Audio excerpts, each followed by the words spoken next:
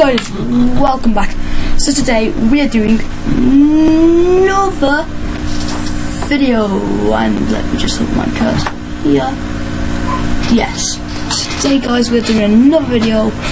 Really happy to actually be doing this video with you guys because you guys are absolute legends as it says in the about thing. Yeah. So uh yeah. Be right back guys.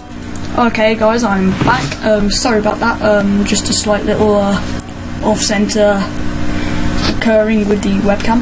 Um, yep, it just completely went out of focus. I was like, bruh, and I was like, get back here, and it was like, nah. It's like, nah. So uh, yeah, um, guys, uh, you guys have also been asking of Twitter, why will I be ever to be doing fun videos? No. I mean, funny videos.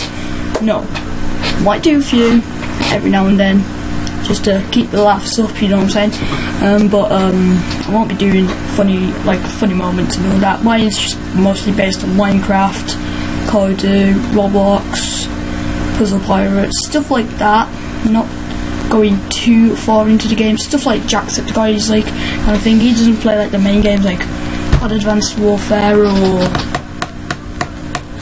or like stuff like even the only main games I've ever seen him play is stuff like GTA 5, um, BeamNG Drive, yeah, stuff like that.